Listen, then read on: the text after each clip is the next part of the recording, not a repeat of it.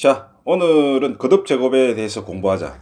거듭 제곱이라는 말은 똑같은 수가 거듭 거듭 제 자신을 곱해 주시오. 그래서 거듭 제곱이란다.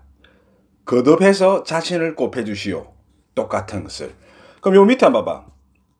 3 곱하기 3 합니까? 3이라는 게 자신이고 어, 거듭해서 두 번 곱해지니까 어, 3이 이렇게 말을 하잖아. 위에 조그맣게 소리 지르지. 두 번 곱해졌습니다. 3의 2승. 3의 제곱. 음.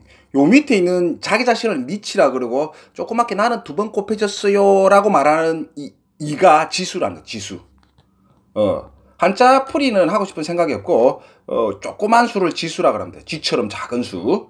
그 다음에 여기서 세 번 곱해지면 3이 나는 세 번 곱해졌어요.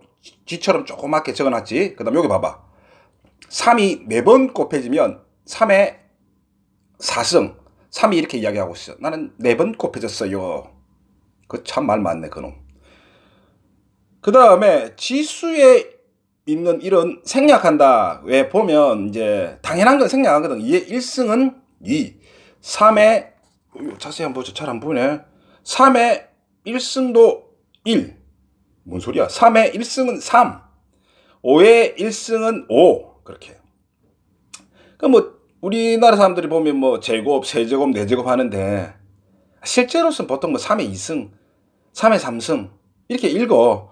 왜 그러냐면 수학은 간단한 표현을 좋아한다라고 하면서 어떤 뭐 학자들이 뭐 세제곱, 네제곱 이렇게 어렵게 표현하는데 뭐 일제 시대 뭐 일제 시대 잔재가 뭐 3승, 4승이라 한다고 해서 야, 지금 전 세계화 시대에 좋은 거는 배우고, 응?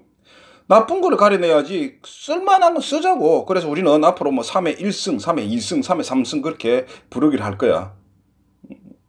오늘 요까지.